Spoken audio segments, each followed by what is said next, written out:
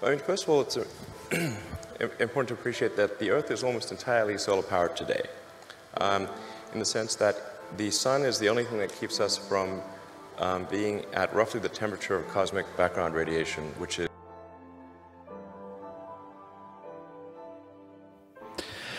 Uh, it seems that training LLMs efficiently is a big focus for XAI. Uh, what's the uh, first of all? What's the limit of what's possible in terms of efficiency?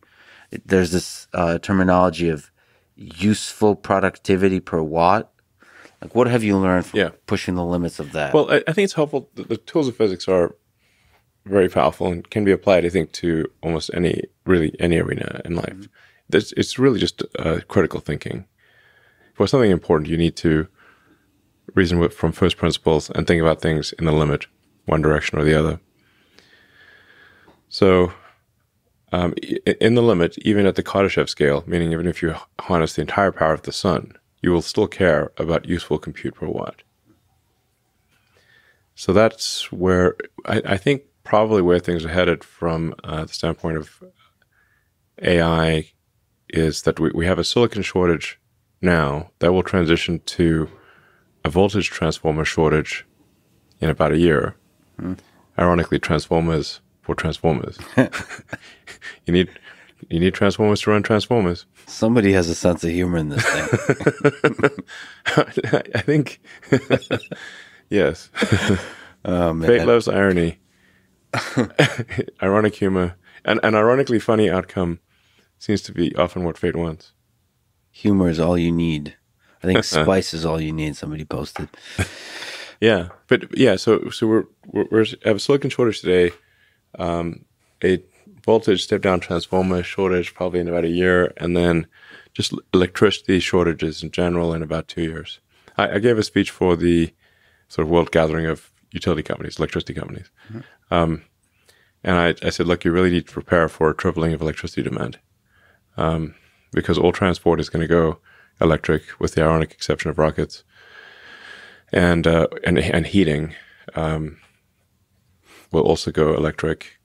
Um, so energy usage right now is roughly one third, if very rough terms, one third ele- electricity, one third transport, one third heating. Um, and so, in order for everything to go sustainable, to go electric, um, you uh, need to triple electricity output.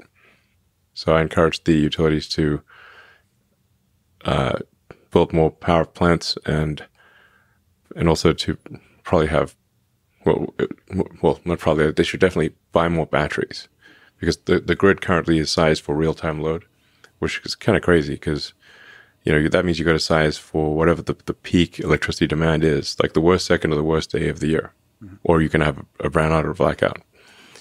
And you know, that we had that crazy blackout for several days in in, in Austin. Um, so, uh, because there's almost no buffering of energy in the grid. Like if you've got a hydro power plant, you can buffer energy, but otherwise, um, it's all real time. So, with batteries, you can you can produce energy at night and- use it during the day, so you can buffer. So I, I, I expect that there will be very heavy usage of, of batteries in the future because the, the, the peak to trough ratio for power plants is anywhere from two to five. You know, so it's like lowest point to highest point. So like batteries are necessary to balance it out, and then but the demand, as you're saying, is going to grow, grow, grow, grow, Yeah. and part of that is the compute. Yes. Yes. I mean, ele- electrification. I mean, electrification of transport uh, and and electric heating will, will be much bigger than AI, at least in the short term. in the short term.